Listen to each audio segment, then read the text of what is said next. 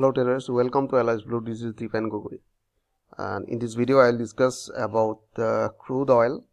So this is the crude oil. So yesterday, I given a resistance line. I think you remember uh, 4375. So exactly you can see after uh, reaching that level. So crude oil just price fell down today. So now you can see uh, today the market range we have seen two market range. Have you seen? One market range is running the, in this range right? This is called uh, channel uh, price channel right? So we are expecting if they break this resistance line so our next resistance line will, be here. Around 4 uh, 420 right? 4420 will be our next target right? So now we can see when price uh, create a higher high. So you can see this is previous high is the lower low. So next they broke this higher uh, low right? And they create a new higher high where was the resistance. So now we can see they create a higher low. They are trying to create a higher low. And we have seen a strong support placing by uh, this horizontal line at the price of 4309 right? Uh, we have seen this strong support.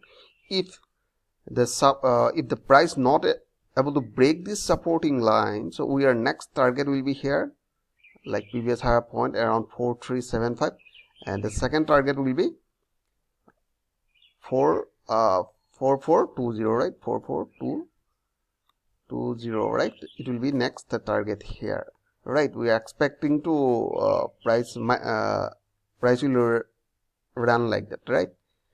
So but another optional we have seen we have seen here another sell signal here right now. Have you seen? Uh, 5 moving average cross 20 moving average right? Just let me zoom here.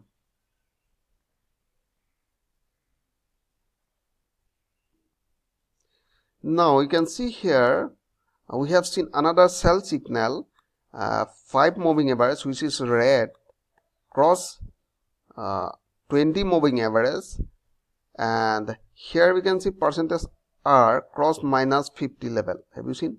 We have seen a clear sell signal from this area right? It is a sell signal. Right it's a clear sell signal we have seen. Sell signal. But if you want to sell here you just wait to cross 4309 because this is a strong support. Right? Sometime you can see here uh, this is the price channel supporting area right? So that is why if you want to sell here it will be a little more risky. Right let me so have you seen this is a strong support? So right one support uh, i just connected previous higher point and uh, this is the price channel line right? I just connected here and we have seen next the support here right? So that is why it is forming a strong support. And if you see the previous market behavior here uh, placing a strong support. So that is why uh, we have to wait to cross this uh, level around 4309 if they cross this level so our next target will be 4258 right? Why i'm telling this is the next target. So let's see here i just connect at previous lower point right? Have you seen this is the previous lower point another? This is the lower point and this is the lower point and another you can see this is the horizontal line and placing a strong support in this area right? So that is why uh, if if you want to enter here sell direction below this level not above this level right? Above not above uh, 4009 below this 4009 so if you want to sell here so your next target will be 4258 right? So we must close our position here because if you see in this area we will find daily 200 moving averages are there right? So have you seen? Uh, uh, sorry four uh, four hour? You can see this is four hour four hour two, uh, four, uh, 200 moving averages are here right? So that is why it's forming a strong support right and if you want to go for buy here